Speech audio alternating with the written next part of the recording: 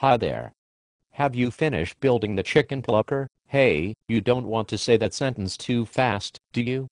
Yes, thanks for asking. I'm just about done. What? Are you done or not?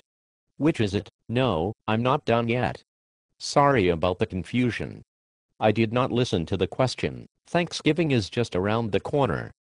Are you going to be ready to kill the big birds and pluck them? Yes, even if I have to hold them together with baler twine and haywire, it will be ready. Them? Are there more than one? Yes, aren't you paying attention? How many chicken pluckers does the average person need? Is that a trick question?